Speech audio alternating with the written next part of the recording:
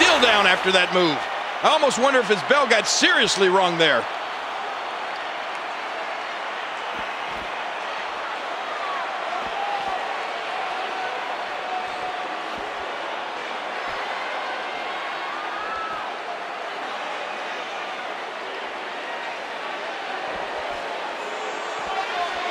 King, you were talking about the straight edge saviors evolution in the squared circle and what has become one of the all time powerhouse arsenal of moves from the Shining Wizard to the flying clothesline to his elbow drops. CM Punk packs a wallop. Boy, does he.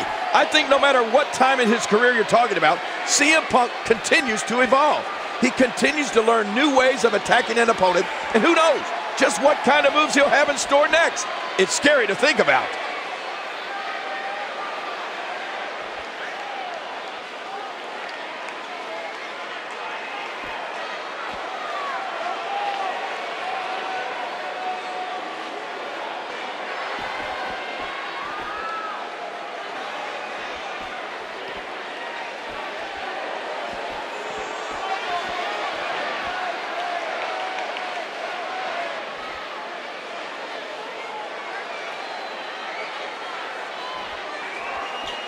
I was just thinking back to some pay-per-view history CM Punk made earlier in his career when he won back-to-back Money in the Bank ladder matches at WrestleMania 24 and 25.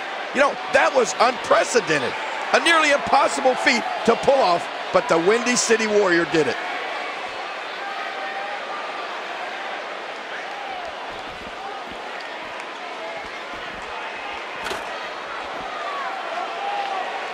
Oh, no, no! Don't do this! Don't do this!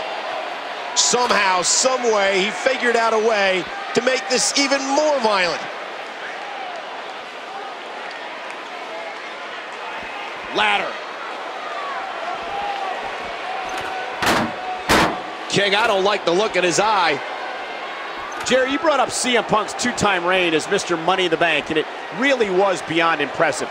His triumphs in those ladder matches at WrestleMania put Punk on a whole different plateau when it came to gutsy, ultra-clutch pay-per-view performances. Well, guts and determination are what those Money in the Bank matches are all about.